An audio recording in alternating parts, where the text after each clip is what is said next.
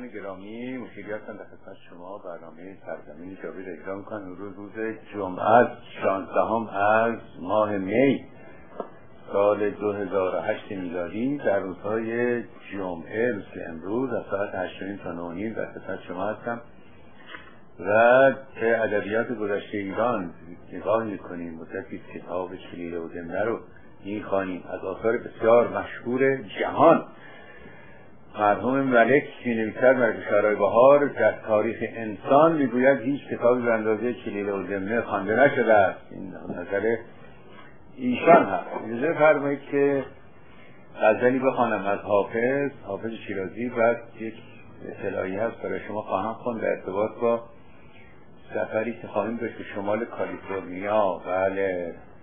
سینه مالا مال درد است. ای دریغا مرهمی دل ز تنهایی به جان آمد. خدا را همدمی. چشم آسایش که دارد از سپهر تیز رو ساقیا جامی به منده تا بیا سازم دمی. زیرکی را گفتم این احوال بین خندید و گفت صبر روزی بلعجب کاری پریشان عالمی. سوختم در چاه صبر از بحر اون شمع چگل. شاه ترکان فارغ است از حال ما کوبستنی در طریق عشق بازی امن آسایش بلاست. ریش با دل که با درد تو خواهد مرهمی. اهل کام و ناز را در کوی رندی راه نیست رهروی باید جهان سوزی. نخواهی بی غمی. آدمی در عالم خاکی نمی آید به دست عالمی دیگر به باید ساخت و از نو آدمی. خیز تا خاطر بدان ترک سمرقندی دهیم. از نسیمش بوی جوی مولیان آید همین. گریه حافظ ستنجد پیش استغنای عشق. کندرین دریا نماید از دریا شبنم. بله. بله سوختم در شاه صبر از بهر اون شمع چگل. شاه ترکان فارغ از حال ما کور و سمی چگل یک منطقه بود از ترکمشید خلخیل و خلخیل و یقمایی و چگلی. اینا از کنن که معمولا بسیار زیبارو بودن. سوختم در چاه صبر از بهر اون شمع چگل شاه ترکان فارغ از حال ما کور و سمی بزرگترین جنگ های شاهنامه. هفت لشکر هفت رستم نیست. و چه مایه پهلوانان کشته شده یا رستم. و بعد رستم آمده است. اونجا اوج واقعا همانهایی شد. روسیست اینا همه اشارات تاریخی است و اینها پشتوانه فرهنگی شعر هست. در واقع که این خانیم دانش شاعر رو به ما نشان می‌دهد. خیز تا خاطر بدان ترک سمرغندی دهیم که از نسیمش بوی چوبی مولیان آید این هم راجع است به همون داستان مشهور امیر نصر و مسافرت به هرات که در اونجا هفتاد لون انگور یافت شود به قول نظامی که بعد از کلیله اصلا نظامی می‌کنن خدمتتون نظامی عروضی سمرغندی که چهار سال اونجا ما از بعد هوا خوب بود و انگورهای بسیار شیرین ارز کنم که در اونجا بود و این امیر باز نمیگشت و این لشکریان از دوری زن و فرزند به جان آمدن و هیچ کس محبود القوتر از رودکی نبود و اون آهنگ مشهور رو ساخت و اون قصیده معروف. بله. بوی جوی موجیان آید همین. این هم یک نام جغرافی هست بخشی بود از اونجا در بخارا. شهرش هم تاریخ بخارا آورده است. بوی جوی مولیان آید همین یاد یار مهربان آید همین و بعد خیلی کشیدن که یک چنین چیزی رو بگویم قافل از این آهنگ رو ساخته. نمیدن برنامه پیش سخن از آهنگسازی شده اینها که حافظ رو می‌گذارن به یک کمبکی و ما آهنگ ساختیم. آهنگسازی بالکل باید که از شعر مستقل باشه. آهنگسازی یک چیزی دیگری. ممکن است بسازید آهنگ رو و بعد شعر هم روش بگذارید. نه اینکه حافظ و سعدی رو و یک کمبک هم بزنیم و یک صدا رو ببریم بالا صدا رو بیاریم پایین بگیم آهنگ ساختیم. آهنگ از ما. بله رودکی آهنگی ساخته وقتی که خان گفت امیر بیموزه پای در رکاب کرد و تا چند فرسنگ موزه ها رو میبرنن اینقدر به آمده بود به شوق آمده بود. از آهنگ رودکی باری این مطلبی خدمتتون اعلام کردم این است که در روز 21 جون با خانم زلفانون صحبت می‌کردم و از کنم خانم زلفانون بسیار عنایت دارن. بارها من در باب خانواده استاد زلفانون صحبت کردم. بله. و از ارادت خودم به این خاندان بزرگ. باری در روز سکه جون در 1700 نورد ال کمین ریل در سن متیو هستیم اونجا ساعت سه بعد از ظهر. یکی از فعالان کار فرهنگ در آمریکا مهندس رسام معینی و به شخصه از ایشون سپاسگزارم. که این فعالیت و سالها مسئولیتش رو گرفته و کار خود رو به وجه احسن انجام میده. هر که فرهنگی در منطقه هستم می‌بینم که بخشی از زحمات یا همه زحمات رو آقای معینی متحمل هست. بله. و تلفن هم میدم حضورتون و هموطنی که دوست دارم شرکت کنم در این جلسه. که البته بیشتر سعی من هست که دوستانم رو ببینم در شمال کالیفرنیا. چون قبل ما در این باب خواهش است به قول آخوندا. ما اینجا میشیم مقابل دوربین دوستان خود رو نمی‌بینیم. اینجا بریم منزل بین کتابا و از کنم که هفت هستیم در منزل. دوستان رو نمی‌بینیم. این است این مسافرت ها برای بنده بسی دلگشا و سرحفظاست خاطر دیدار دوستان.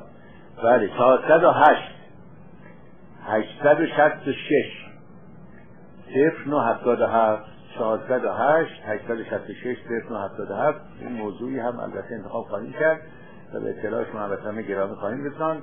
یک جون در هزار نورت ال کامین ریل سن متیو تلفنی هم که دادم تلفن منزل استاد دکترون هست 408 866 0977 باری بیا من در اینجا خدمت شما. و فکر می‌کردم به این موضوع ایران و اینها یه هشت دقیقه هفت دقیقه راه هست اینجا. در باب ادبیات اینها که چگونه ادبیات به وجود میاد و اهمیتش در چی؟ ما قدر این کارها رو ندانستیم. اجداد ما بهتر می‌دانستن. اما وقتی ما شکست خوردیم از روزها و بعد این صنایع غربی آمد شرط خلقتی توبخانه نمی‌دانم چیزهای فرنگی زیبا اینها آمد ما احساس ضعف کردیم و حس کم خودبینی به ما دست داد. اونچنان شد که گویی ما هرچه داریم دارای از ارزشی نیست و چشمهای ما به چراغ های مغرب خیره شد. اون چند می‌دانستیم از یاد بردیم در این ایوه نگاه می‌کردم یک شمشیر استادسازی ایرانی که چشم خیره می‌کنه. صنعت ساخت یک استاد ایرانی که امروز نظیرش در جهان پیدا نشد کجا رفتن این صنعتگران نه ما به عرض کنم که این مادرنیته قرد رسیدیم نه اون چیزی رو که داشتیم تداوم یافت. محمد کاظم نویسنده نادر می‌گوید هر کنم که وقتی نادر آمد و خشم گرفت در میرزا علی بیت تبریزی بیست هزار یا پونزه هزار کره مادیان از او گرفت و صد سی هزار گوسفند نمی‌دونم شد هزار رفعت از یک نفر. این بوده وضعیت ایران و کشاورزی و حکمداری اونو به دست نیاوردیم اینم نشد. باری این شمشیر نه تنها این شمشیر رو روزی من میرم نگاه می‌کنم این کار این استاد و این فولاد دمشقی و این دسته و این کار تلاکاری و در وطن ما درست شد این محصول کشور ماست. و این آخوندها اگر معرفتی داشتن و شعور داشتن به جای پرداخت این ثروت های کلان به تروریست های همسینه باید یک ثروتی رو معین می‌کردن که این اشیاء ایرانی برگردد به ایران. یکی از کارهایی که شده است در روزگار گذشته روزگار شاهنشاهی حداقل این خانم فرح شهبانو این دانایی رو داشته است که این همچی کاری بکنن. بسیاری از کارهای زیبای ایران و جهان رو بردن ایران. من یاد دارم مرحوم محبوبیان که کارشناس هنر بود. شود که به بنده می‌گفتن سخن از شاهنامه بود و از کنم که کارهای نفیس و واقعا جالبی که روی شاهنامه شد در روزگار پایانی مغول و روزگار صفوی اینها سخن شاهنامه دیموت بود که ایشان برای بودی که از ارزمندترین کارهایی که شده شاهنامه دیموت هست. یک تابلوی رو من عکسش رو دیده بودم گفتم این تابلو من گوشون این تابلو من خریدم. و بوشش هم دربار گذاشته بود و خانم فرح بسیار تشویق می‌کردن شهبانوی سابق برای اینکه این کارا خریداری بشه و گفت این تابلو رو من خریدم برگردوندم ایران و در موزه رضا عباسی هست. بردار کردن مانی از شاهنامه دیموت باری ادبیات چگونه به وجود میاد؟ از کنم که فکرش کردم که وقتی که قارنشینی تمام شده چه میزان زمان گذشته که گفتگوی عادی و معمولی و متعارف برسد به ادبیات. واقعا قرنها بایستی بگذارد که این از کنم که سخن پیش افتادی که آب می‌خوام نان می‌خوام دندانم درد کنه برسه به مرحله رباعیات خلاق و این ذهنیت نیرومند و این حد متعالی فرهنگ که بتواند بگوید آنان که محیط فضل آداب شدن در جمع کمال شمع اصحاب شدن ده شب تاریخ نبردن برون. گفتن اسامی و در خواب شد. قرنها تفکر دنبال این داستان هست و از کنند که سابقه فرهنگی و اندیشیدن و هزار جور از کنند که عواطف لطیف و حس زیباشناسی یا زیباشناس و تعالی ادبی و فرهنگی که یک غزل حافظ وجود از سخن سعدی و یک روایی خیام اما اینها از کنن که بعد از این ماجرایی که بر ما رفت این شیفتگی ما به جاهای دیگر و این تبلیغاتی که می‌شد از یک سو از سوی دیگر کسانی آمده بودن که اینها رو خار کرده بودن در چشم چند نسل ایرانی اینها هر ایرانی بود در مقابل ارزش های مشابه فرنگی رنگ باخته بود. اینا متاسفانه متاسفانه. این باید بازسازی بشود. یعنی این در موضوع سیاست امری مهمتر از این موضوع هویت نیست. شخص احساس هویت نکنه که کار سیاسیش هم اساسا دیده است. برای شکل که قبل کار سیاسی بکنه؟ باری این است که این کتاب که دیده بود که خودم بیارم خدمت شما و بعد از این کتاب چهار مقاله رو میارم خدمتتون مقاله نظامی عروضی سمرقندی و درود بر این مرد که چنین کتابی نوشت یکی از شیرینترین و زیباترین آثار زبان فارسی. همین چهار مقاله چهار مقاله نظامی عروسی که در حقیقت ابتدا به مجمع نبادر مشهور بوده است. مرد برای تقدیم پاشا کار کرده در مقدمش هم از کنم که اشارتی کرده که بنده مخلص و خادم متحدث احمد ابن عمر ابن علی نظامی العروضی سمرقندی که هشت سال است به خدمت این خاندان مرسوم و به رقم بندگی مرحوم خواستم تا مجلس اعلای پادشاهی اعلاه الله را خدمتی تازم به حجج قاطعه و براهین ساطعه بندرو باز نمایند که پادشاهی چیست و پادشاه خود چیست و این تلفیش مستراست اینجور آغاز کرد. و از کنم در باب چهار موضوع نظامی سخن رانده. و از کنم که به لحاظ تاریخی بسیار بسیار ارزشمند هست. ضمن خط خطاهایی که هر راه یافته و مرحوم علامه قدیمی خطاها رو به ما نشان داد. اما بر روی هم یکی از شاهکارهای بزرگ این زبان هست. و به روانی و زیبایی و تجسم معانی اینها کمتر نزدیکی یافته و متاونت و اسلوب. این است که بعد از این کتاب عظیم و شعن کلیل و دلنه حتما به نظامی خواهیم پرداخت و داستانهای او رو خواهیم خوند. خیام رو دیده در باب خیام داستان شیرین داره. قدیم ترین چیزی که در باب فردوسی سخن گفته و داستان او رو نوشته. پاری از نوادر اتفاقات رو در علم پزشکی او آورده و در باب نویسندگی و شاعری و نجوم اینها سخن رانده به زیبایی.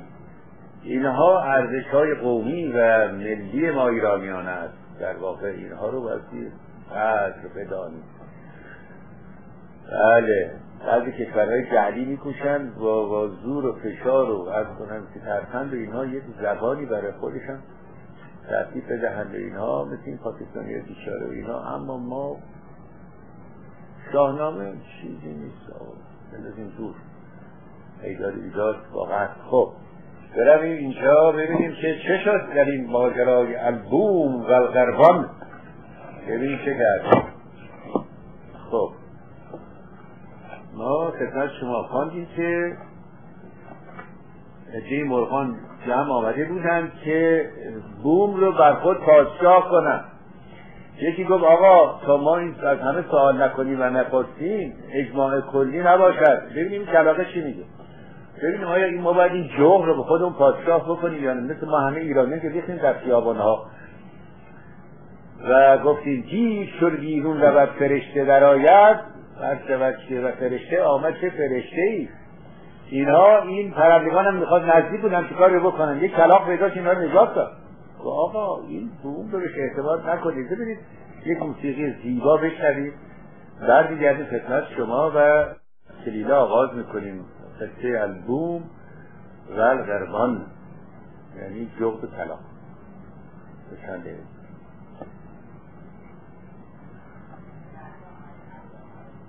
بله. بارکان گفتن که آماده نبودن. حالا ما پیدا می‌کنیم. بله از همین. بله. صفحه 183 تا بارکان آماده بشیم. خب. می‌گوید که وقتی این داستان ها رو نقل کرد و گفت که شما این جغد رو به خود پادشاه نکنید می‌گوید اشکال من این بود که در مقابل صورتش گفتم. و این جغد به من گفت این بوم به من گفت میان من و شما اداوتی که هرگز از میان نخواهد رفت. و گرفتاری من بود که زرد از کنم روبروی او گفتم. و اجازه بدیم که این موسیقی را بشنویم اگر واقعا آماده باشد. و این قسمت دوم از اون نواری که خدمتتون دادم از اون سی دی رو پخش بکنین هم هموطنان ما بشنون و برگردیم سر داستان کلیل و دمنه و از کنند که داستان طلاق ببینیم بعد چه شد ماجرا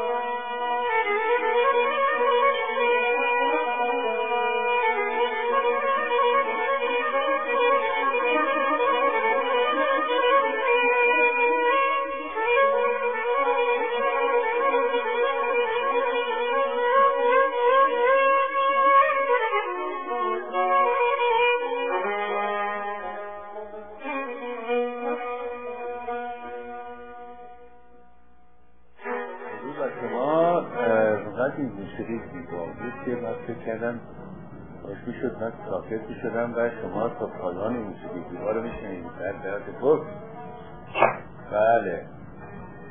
اجازه بدید بخوانیم ببینیم چه با پیشلیله خب. بعد گفت که من اون راجه سخن قاصر فعلم که در حواتم کار تحملی شافی نکردم. خب من این فکر و عاقبت کار فکر نکردم و همون لحظه اندیشیدم.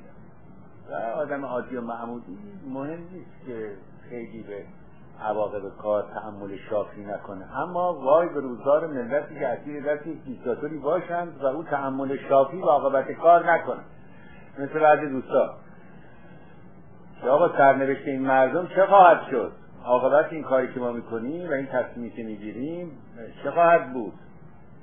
اینا رو برای از کنم که رهبران نوشتن. برای رجال سیاسی این کتاب رو نوشتن. نه برای آدم حاسی و من همون شافی نکردم. من اون راجع سخن قاصر فعلم یعنی حرف می‌زنم در در, در افعالم. تحمل نمی کنم که در قسم کار تحمل شافی نکردم. و الله از این صفاحت مستغنی بودم. و اگر خرد داشتنی نخست با کسی مشورت کردنی. این اساس دموکراسی همینه. یعنی عقل جمعی و مشورت. پس معنی دیگرش اینه اگه با منطق رو وارد کنیم یعنی کسی که خودکامه هست و مستبد هست عقل درستی نداره خرد نداره. عبارت رو می‌خونم اینا تفسیر داره. اینا ننوشتن داستان از خیر که نیست. این حاصل حکمت عمیق از کنم که شبقاره هند بوده با این فراز و فرودهای سیاسی که در اون تاریخ داشته و این همه حکمای بزرگ و اندیشمندان دقیق النظر و عمیق الفکر بود داشتن این هندی ها بسیار مردمان عمیقی بودن در, تاریخ. ببین چه نوشته. بله. و الله از این صفاحت می بودم و اگر خرد داشتنی نخست با کسی مشورت کردمی. و پس از اعمال فکرت و قرار عظیمت فکی مرموز چنون که از عیب منزه بودی بگفتنی که در مهمی بدین بزرگی بر بدیه مداخلت پیوستن از خرد و کیاست دور است. یعنی در امر مهم که مربوط است به مردم و کشور ناگهان تصمیم گرفتن و انفرادی از کنم تصمیم گرفتن و هم دادن و نمی‌دونم دسترسی کردن. از خرد و کیاست به دور است. یعنی این مستبدین عقل درستی ندارن. سر صدای لفظنجانی هم در آمده که آقا یک نفر که نمی‌تواند که عقل کل باشد که. باری. حالا داره سخن میگه اینجا. خب بعد اینجا از کنم که نصیحت سیاسی کرده. بله و اونجا گفت که المکسارو کهاتب اللیل. کهاتب اللیل. یعنی آدمی که زیاد صحبت می‌کنه مثل هیزم چش هیزم تن شبه. که دستش می‌کنه بوته هیزم نمی‌دونه عقرب اونجاست مار اونجاست. کسی زیاد حرف می‌زنه ناچار خطا می‌کنه. این خطا مثل همون عقرب هست. بله. ساعتی از این نوع اتحاب کرد و بپرسید این بود مقدمات دشمنی میان ما و بوم که تغییر افتاد. ملک گفت معلوم گشت و شناختن اون را پایده بود. سخن این کار افتتاح کن که پیشداری و تدبیری اندیش که فراغ خاطر ما منتظم شود و نجات لشکر و آسایش رعیت را متضمن خواهد بود. و تواند بود. گفت در این معنی ترک جنگ و کراهیت قبول خراج و تحرر اینجا حالا توضیحات اضافی که داستان نقل کرده داستان رو می‌خوام خدمتتون بکنم. که تلقین چگونه عمل می‌کنه و تبلیغات چگونه تاثیر داره. توجه فرمایید گفت آوردن که زاهدی از جهت قربان گوسپندی خرید. یه نفر مؤمنی که معتقد بود که حالا قربانی چیز خوبی مثل همین حاجی خودمان سر گوسفند رو می‌برن بعد میندازن توی دشم یا تو خاک و اینا. جهت قربان. این داستان قربانی کردن هم یه ریشه تاریخی قدیم داره. برای خدایان قربانی کردن اینا حالا بمانن. گفت آوردن که زاهد زاهدی از جهت قربان. یعنی برای قربانی کردن. گوسفندی خرید در راه قومی بدیدن به طمع کردن. عجب گوسفند چاقی یعنی شد اینا از دست این دردی و با یکدیگر قرار دادن که او را بفریبند و گوسفند ببرند. پس یک تن از پیشتر آمد و گفت ای شیخ این سگ از کجا آوردی؟ دیگری به دو گذشت و گفت شیخ مگر عزم شکار داری؟ یعنی گوسه ها رفته پول داده خودش هم می‌دونه یک گوسفند فربه خیلی خوبی خریده. یک کسی آقا این سگر از کجا آوردی؟ که گفت آقا شکار میری؟ تازی دنبال انداختی؟ بله. سیوم به دو پیوست گفت این مرد در کسرت اهل صلاح هست اما زاهد نمی نماید که زاهد را با سگ صحبت نباشد. یکی کسی گفت بابا این نماز خونه این نماز روزه می‌کنه فلان حرفا. آدم نماز خونه اینا اسلام فرموده که سگ نجسه فلان پس این اهل چیز نیست این دینش هم درست نیست. حالا دشمنی اسلام با سگ هم خدمتتون از کردم از واقعی که حضرت صلی الله علیه و سلم یه دستور دادن به حضرت علی رفت سر سگار بود. هرچی سگ تو مدینه بود علی کشته با تیر و کمون زلفقار اینا افتاد بدون سگ سگ بدبختش کارش داریم داستان چیه؟ حالا این داستان سگ هم دراز هست که بعد متصوفین کتاب ها برداختن در فضیلت سگ درست عکس سخن اسلامی. یه خانمی هم به بنده زنگ زدن. که آقا من سه گریه می‌کرد که هیچ بچه مرده ای. من ندیدم اینقدر زاری بکنه. که آقا سه تا سگ داشتم من. مثل اونس گرفت. من تجربه چنین کاری ندارم. مگر بچه بودیم و از کنم بر سگ داشتیم که بیرون بماند. اما اونس گرفتن انسان با سگ به وجه عجیبی مثل به بچه دار شدن چیزا میمون گاری این خانم بیچاره از ایران به من زنگ زدن. که من سه تا سگ داشتم. پیاده شدم ببرمشون دکتر. سرداران اسلام رسیدن و از کنم سگای ما رو بردن. یک ماه می‌گفت زمستان می‌رفتن گریه می‌کردن اینها. بعد یکیش رو گفت کشتن یکیش هم کور کردن یکیش هم شل کردن به ما دادن. و گریه میکن حالا این به این مربوط نیست. خواستم که به عنوان یک نکته کنم که بعضی آینا نه تنها ضد بشری هستن ضد حیوان هم هستن. باری گفت که این که در کسرت اهل صلاح هست و داره و امام و اینها داره اما این ظاهر نمی‌تونه باشه. چون زاهد را با سگ صحبت نباشد و دست جامعه خیش را از او سیانت واجب دارد. از این نه هر کسی چیزی گفت تا شکی در دل او افتاد و خود را متهم گردانی و گفت شاید بود که فروشنده این جادو بوده. بیچاره شک.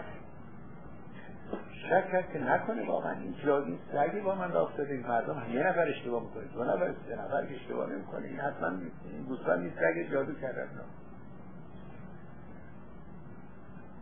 این آخوندها که آمدن و عرض کنن که یک قبر رو به ما تلقین کردن که نجات شما در این قبرها استخون هاست جلجت داری؟ من نمی‌دونم ورم نمی‌دونم گلو داری؟ سرطان داری؟ برو سر این قبرها پولش رو به ما بده خوب میشی. از بس تقیم کردن باورمون شد باور ما شده است که قبر بیمارستانه.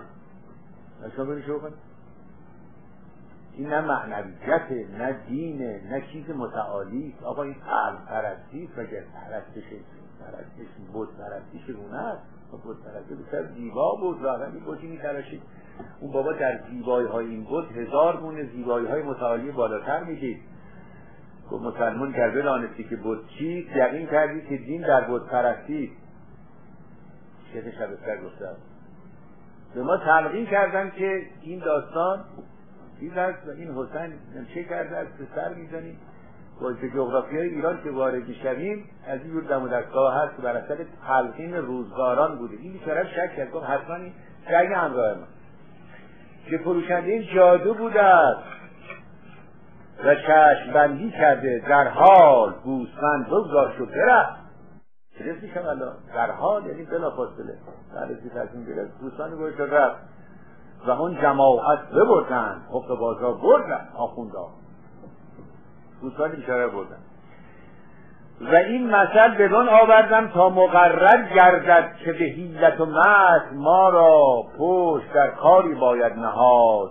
اونگاه نصرت هراین روی نماید و من خود را فدای این کار خواهم کرد و چنان ثواب می‌بینم که ملک در ملع بر من خش کند و بفرماید تا مرا بزنند و بیرون کنند و در زیر درخت بیفکنند. و ملک با تمامی لشکر برود فلان جای مقام فرماید و منتظر آمدن من باشد تا من از مکر و حیله خویش بپردازم و بیایم. اینا کلاغان زغدا حمله کردن. اینا ترسیدن. می‌خواستم که آقا یک راه چاره بیشتر نیست.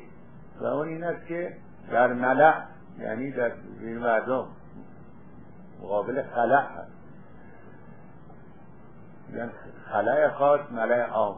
ملک به من عطاب بکنه سر بیرا بگه فوشا ناسزا بده بده من چوب بزنن و بندازن زیر درخت تا من یک ترفندی بزنم. این جلوی دختر رو بگیرم و به من بفرمایید که کجا هستید. من بعد که هیلر کارگر شد میام خدمت. این می‌خواد بگوید که کار سیاسی و کار دین و می‌کنن که نماز خوندن و دلارات شدن و این داستان ها سازگاری نداره. مرتب با سیاست و ترفند و نیرنگ هست. اسمش هم نیرنگی کار سیاسی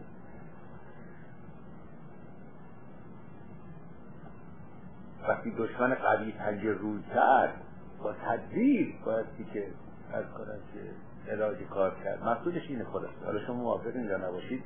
مطلب شماست. خب. بله. ملک در باب او این مثال داد و با لشکر بدون موضع رفت که معین کرده بود و بومون باز آمدند زاغون را نیافتند و او را که چندون رنج بر خود نهاده بود و در کمین قدر نشسته هم ندیدند و اتفاق چشم ایشان بر وی نیفتاد ندیدنش آمد اینجا فرار کردن کلاغا. کلاغا گریختن خبری هم نیست. این آقا را هم اونجا. اتفاق را او رو ندیدن. بله ندیدنش زاغ خونالود بترسید که بومان باز کردن و سعی او باطل شود. آهسته آهسته با خود میپیچید و نر نر مینالید.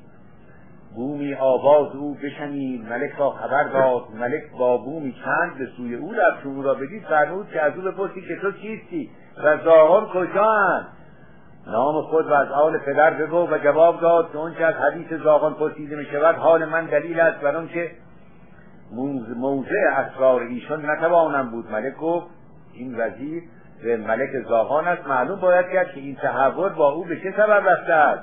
زاغ گفت مخدوم را از من بدگمانی آمد. پرسید که به چه موجب؟ زاغ گفت چون شما اون شب شبیخون کردید ملک مرا بخواند و گفت چه بینید در این واقع من گفتم ما را با لشکر بوم مقاومت نتواند بود که دلیری ایشان در جنگ زیادت است و قوت و شکر بیش دارند. راه آن است که رسول فرستیم. اگر ما را به صلح اجابت کنند و اگر نه در شهرها بپراکنیم که جنگ ایشان را ثوابتر است و صلح ما را لایقتر تواضع باید نمود که دشمن قوی حال چیره دست را جز به تواضع دست نتوان کرد. و نبینید که گیاه تر از باد سخت سلامت بجهد و درخت را اگر چه قوی شاخ باشد و محکم بیخ از پا یکسند باز اینجا صحبت از تدبیر هست. تشریح زیبایی هم کرده وقتی طوفان آمد این چمن دیدی؟ چمن می‌خواد و بلند میشه. می‌خوام ما درخت قوی قوی از کنم که چند صد ساله رو طوفان میشکن این از یه می‌گوید که بله به حال تو چی شد؟ پادشاه بومان پادشاه جغنان گفت چی شده آقا؟ تو چی؟ خون آلوده اینا؟ گفت بله اینا به من اعتبار دیگه ندارن. تو چطور؟ گفت وقتی شما شب اول شبی خون کردید اینها من گفتم آقا صلاح ما بر این هست که این بریم خدمت این جغدا و اونجا استمالت کنیم و به ضرب خود اعتراف کنیم و از طریق دیپلماسی شما قویتر هستین و اینها. و این نصیحت من به پادشاه خودمون کردم. بله. زاغان در خرج شدن و مرا متهم گردانیدن که تو به جانب بومان میل داری. گفتن که تو جاسوس اینایی تو رفیق ما یه رفیق شیره تو داری به سرتو صحبت می‌کنی. و ملک از نصیحت من اعراض نمود و مرا عذابی فرمود. و در ذهن ایشان چنان دیدم که جنگ را می‌سازند. ملک بومان چون سخن زاغ بشنید یکی را از وزیران خود پرسید که در کار این زاغ چه خب و سرفندش معلوم شد. تو بله ما رو زدن و دیگه به ما اعتماد ندارن و اینها و از اینجور داستان ها صدها بار این قضیه تکرار شده. اونهایی که سفرباد بختیار رو کشتن. اونهایی که مرمود بیچاره بختیار رو کشتن. اونهایی که دیگران رو کشتن. از نوع همین هر کنن که کلاق محترم هستن که فرار می‌کنن یه هواپیما میدوزن جایی که میان بعد بیدا به آخوندا میگن خودشون در محافل وارد می‌کنن شروع می‌کنن صدا زد کردن و عرض می‌کنن به اطلاع آخوندهای محترم رسانیدن.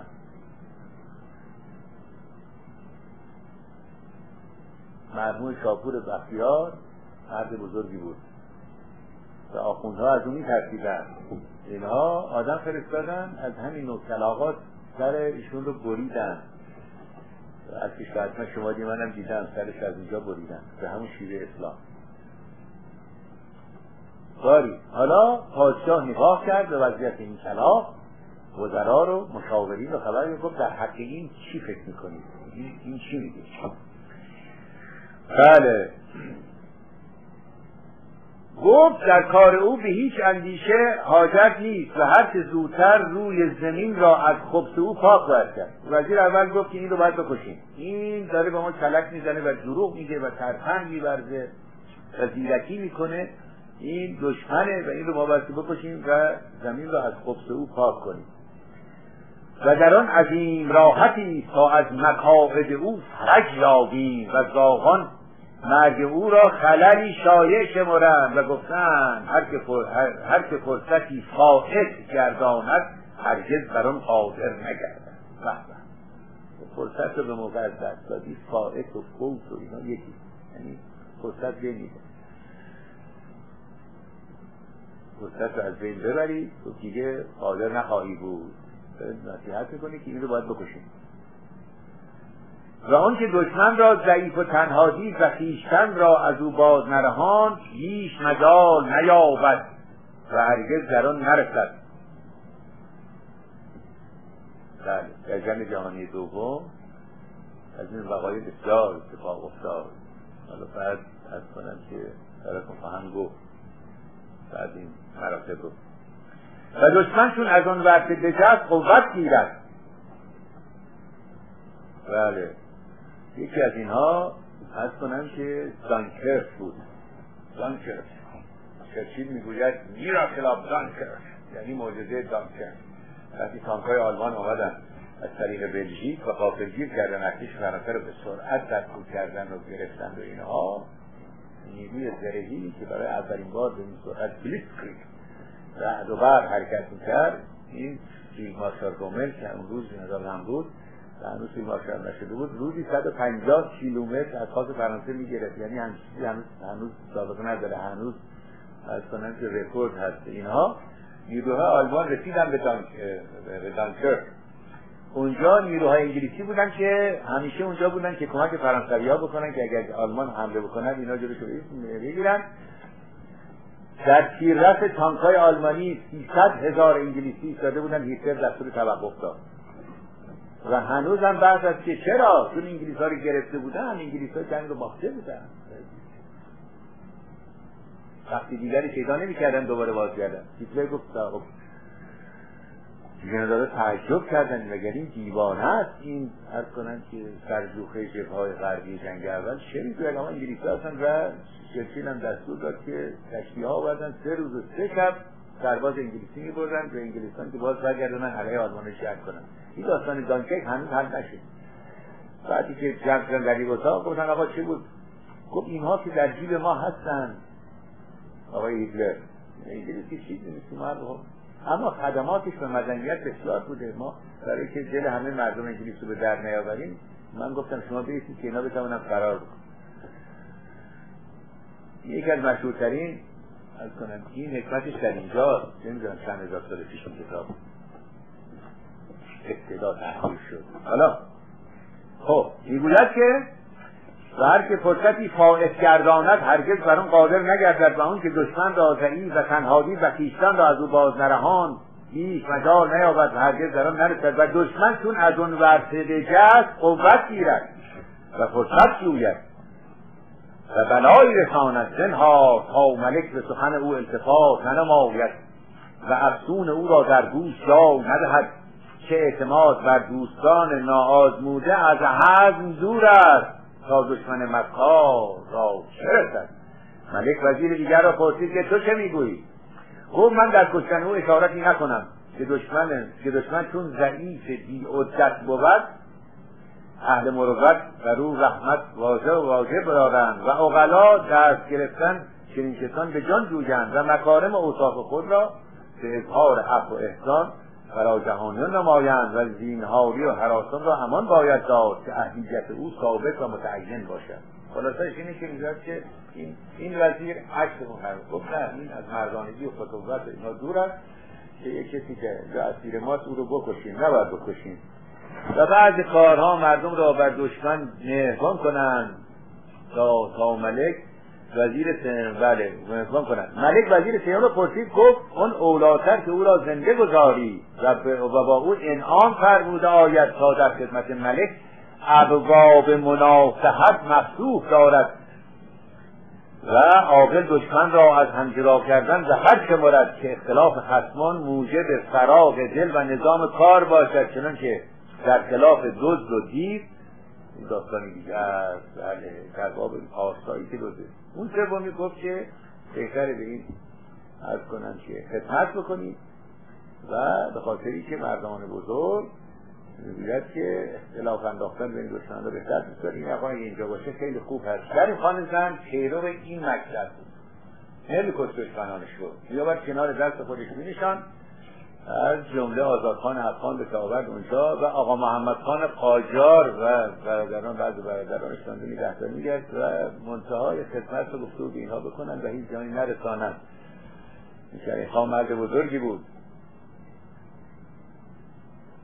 خطوبت بسیار داشت این مرد و نتیجه اون شد که به مرد کریم خان مرد همه او که زن کریم خان بود وسیله رو فراهم کرد که این آقا محمد خان بگریزد و به استرابات برود و بعد استخوانهای کریم خان رو از گور بیرون بکشد در یک گونی بکند و در مقابل تشکالار شاهی هر موقع وارد بشه چند لگر در می‌زد و دختر کریم خان رو به قاطرچی بدهد و از این دو کارهای عجیب غریب فرومایه که فقط چی میگن؟ از نظر بعض اشخاص هست. این هم یک پردش بود. بنابراین مثلا بیشتر نداشت به وزیر سه نصیحت مختلف کردن به پادشاه.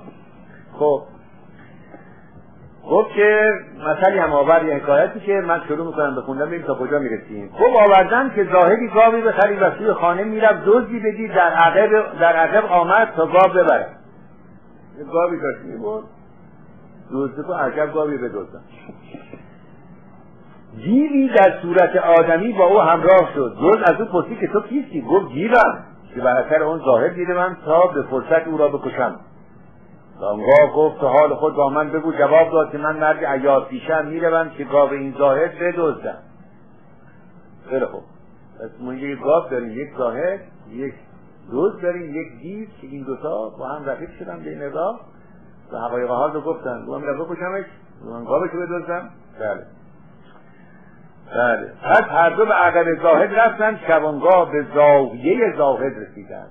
یک اتاق کوچیک محقر رو می‌گویند زاویه. گفتن فلان صوفی زاویه گرفت مثلا در بستان. یعنی یک جای محقر رو زاهد در خانه رفت و گاه ببر و تیمار علف بداشت. تیمار علف بداشت یعنی علف داد به گاه رسیدگیرش کرد. و به استراحتی پرداخت. دو اندیشید که اگر پیش از بردن گاو به کشتن او دست کند باشد که بیدار شود و بردن ممکن نگردد. خب. دیو گفت اگر دوز دوز گاو بیرون برد اگر دوز گاو بیرون برد درها باز شود و ظاهر بیدار گردد. دوز را گفت مهلتی ده تا من مرد را بکشم اونگاه تو گاو ببر. دوز گفت توقف از جانب تو اولاتر تا من گاه بیرون برم اونگاه تو او را بکشید. اینا اختلاف افتاد بین دوز و گیر و سر این که آیا این اول بکشن یا آخر بکشن؟ این خلافیان ایشان قائم شد یعنی محکم شد و به مجادله پیوست. شروع کردن این دوتا یعنی این این دیو و اون دو دعوا کردن یقه همو گرفتن. ولی که به چه وجهی این بابا رو بکشن گاوش رو ببرن. دزد زاهد را آواز داد که اینجا دیو است. تو را بخواهد کشت دیو آواز داد که دزد گاو می‌برد. زاهد بیدار به همسایگان را آواز داد. ایشان بگریختند و نفس و مال زاهد به سبب خلاف دشمنان مصون و مسلم ماند. این داستان اپوزیسیون خود ما. حالا از از که موضوع در سر مثلا ایران آزادی ایران هست. هیچ کسی دیگری قبول نداره متاسفانه. و اگر دریابند گروهی که کسی شخصی اشخاصی داره یک حیثیتی بین مردم هستن سعی و خراب کردن اون می‌کنند و اینها. این هم قضیه سیاسی با نتیجه دعوای این دوتا این شد که هر دو خواهب و خاطر رفتن. صاحبخانه بیدار شد و فریاد کرد و چوب و شما و هوار اینها و هر دو گریختن بله. داستان خیلی جالبی. بله. چون این سخن به آخر رسید وزیر اول که به کشتن اشارت می‌کرد گفت من می‌بینم که این زاق شما را به مرد بپرید و اکنون می‌خواهد که موزه حض را ضایع گرداند. بله.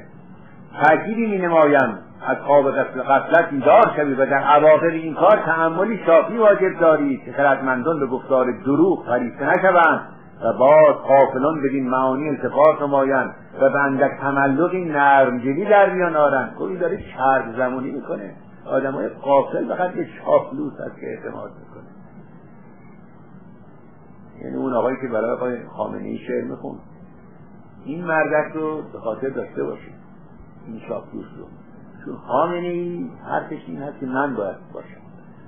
حرف چاپلوس این هست که جباران باید باشن. این دوتا با هم فرق می‌کنن. بنابراین گناه چاپلوس بیشتر است از گناه ظالم. من این آقا رو رها نخواهم کرد. این شاعر مزاح رو باز میارم. شعرش هم شاید تکلیف کنم. و ما این رو باید ضرب المثل کنیم برای مبارزه با چاپلوسی. بلکه این رزیلت از نزنان ما ایرانیان برداشته بشه. این وزیرم داره اینو میگه. میگه فقط آدم های قافل و نادان هستن که از کنن که با تملق فایده میشن. و باز قافلان بدین معنی و و اندک تملقی نرمدلی در میان آرند و از سر حقه های قدیم برخیزند تا دروغ دشمن را تصدیق نمایند و زود براستی قرار دهند و ندانند صلح دشمن چون جنگ دوست بود و نادرتر اون که از نادانی ترار از نادانی ترار بسره شما را ترسه بغداد می نماید و هر دشمن که طرف دوری مسافت قصدی نتواند پیوست نزدیکی جوید و خود را از ناسهون گرداند و به تلطف در معرض محکمیت آید و چون و اساس و و فرصت مهیا بدید به ایقان و بسیزت دست کار کند و هر زهر بزند چون برق بی هجاب باشد. و چون قضا بی خطا رود و من زاغان را آزمودم به اندازه دوربینی و سیاست ایشان بدانسته تا این مرحوم را بریدم و سخن او بشنودم روشنی رایشان مقرر کرد.